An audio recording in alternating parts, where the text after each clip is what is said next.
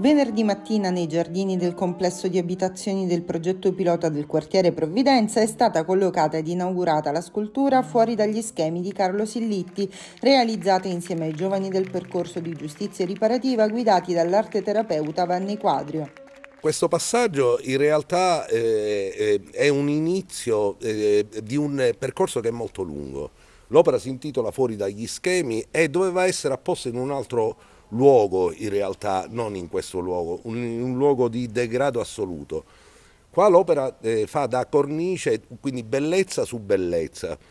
Il, io mi auguro, mi auspico che l'opera venga eh, manutenuta e venga eh, eh, goduta e fruita per quello che è, un inizio di un percorso rigenerativo ma di tutta l'area, non solo di questa, perché questo qui è un inizio, ma eh, si presuppone eh, che questo inizio prosegua nel tempo. Così sulle note del sax ehm, di Pippo Pizzo, raffinato musicista jazz, tanta l'emozione dei presenti al momento in cui i rappresentanti di associazioni e istituzioni e l'artista stesso hanno tolto il telo. L'inaugurazione è avvenuta al termine dell'incontro per il patto territoriale per la giustizia e la bellezza di comunità promosso dall'UEPE in collaborazione con l'amministrazione comunale e l'assessorato alla cultura.